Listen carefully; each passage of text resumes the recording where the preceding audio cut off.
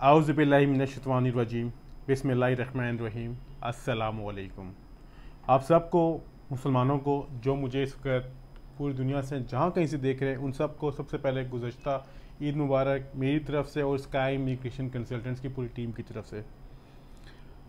UK visit visa without bank statement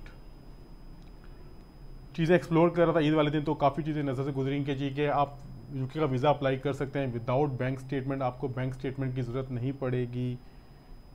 काफ़ी लोगों ने हमसे भी रबते किए ऑफ़िस से विज़िट किए तो उन्होंने हमें डिस्कशन की कि यार ऐसी क्या स्टोरी क्योंकि काफ़ी कंसल्टेंट्स इस चीज़ को प्रमोट कर रहे हैं जी कि आप विदाउट बैंक स्टेटमेंट भी अप्लाई कर सकते हैं. और विदाउट बैंक स्टेटमेंट वो किस सेंस में अप्लाई करने की कोशिश कर रहे हैं?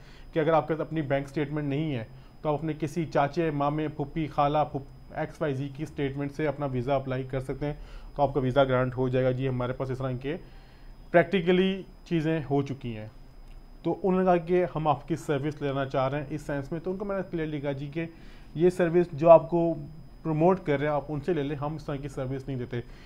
वीडियो बनाने का मकसद है वो जो यही है कि हम लोग किस किस्म की, किसी किस्म की सर्विस प्रोवाइड नहीं कर रहे।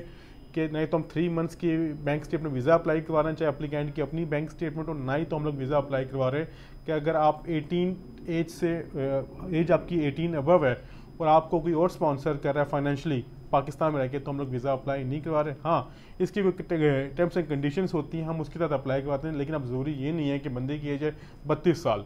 शादीशुदा है, तीन बच्चे भी हैं, और उसको उसके भाई या फिर उसके वाल साहब स्पॉन्सर करेंगे फाइनेंशियली तो वीज़ा ग्रांट हो जाए ऐसा नहीं होता। और बाद नशीन करेगा, जो आपको इस तरह की एडवाइस दे रहा है, या तो वो बिल्कुल न्यू कंसल्टेंट है। एक चीज़, उनको इतना आइडिया नहीं, या फिर वो जैसे आपका पैसे के लिए आपका वीज़ा अप्लाई करवा रहे हैं। क्योंकि इस तरह तो आप वीज़ा तो अप्लाई कर सकते हैं, लेकिन वीज़ा कभी नहीं होगा। क्योंकि वीज़ा अप्लाई करने के लिए आपको अपने सर्कमस्टेंस शो करने पड़ते हैं, चाहे फाइनेंशियली हो, चाहे फैमिली टाइज हो। वो आपने ये शो करना है कि पाकिस्तान आप इतने आप सेटल्ड हैं कि आप वहाँ पर अगर टूरिस्ट जा रहे हैं या फिर अपने फैमिली मेंबर से मिलने के लिए जा रहे हैं तो आप इतने फाइनेंशियल स्ट्रॉन्ग हैं कि अपना खर्चा खुद बर्दाश्त कर सकते हैं।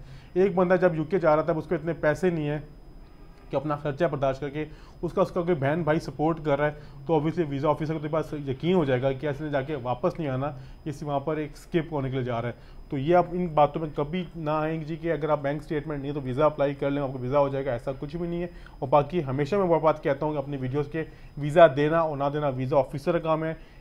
कोई भी कंसल्टेंट है तो वो कोशिश कर सकता है, जो एजेंट्स हैं वो कहते हैं डन बेस पे आपका वीज़ा मिल जाएगा, इतने का, इन चीज़ों से बचे दो चीज़ें हो सकती हैं। या तो आपको फेक स्टिकर लगा के देंगे एक चीज़, या फिर वो आपकी प्रोफ़ाइल पे जुआ खेलेगा अप्लाई करता रहेगा बार बार जब वीज़ा ग्रांट हो जाएगा तो आपसे एक हैंडसा अमाउंट ले लेगा, नहीं हुआ तो फिर वो जो भी आपको जो, वो अपने पहले टर्म्स एंड कंडीशन टैग करेगा, उसके साथ आपको नुकसान हो सकता है। बाकी मैं आपको सबसे रिक्वेस्ट करूँगा, ज़रूरी नहीं है कि आप स्काई इमिग्रेशन कंसल्टेंट्स के पास ही हैं। आप जिस सिटी से भी हैं, आप वहाँ से अपना वीज़ा अप्लाई करें बाकी वीज़ा आपकी डॉक्यूमेंटेशन आपकी लक पे होता है। और मैं सबका शुक्रिया अदा करूँगा। आज ईद का हमारा फ़र्स्ट डे था ओपनिंग के बाद। अलहमदिल्ला हमारे पास एप्टाबाद के पी के से क्लाइंट आए, सियालकोट, पंजाब से आए, कोटली, आज़ाद कश्मीर से आए, मुख्तलिफ़ शहर से क्लाइंट आए। उन सबका शुक्रिया जो हमें दूर दूर से आते हैं। मैं हमेशा एक बात कहता हूँ कि हम लोग कोशिश कर सकते हैं। बाकी वीज़ा देना और ना देना वीज़ा ऑफिसर का काम है। ये थी इन्फॉर्मेशन अपना ख्याल रखिएगा। बहुत शुक्रिया। खुदा हाफिज़।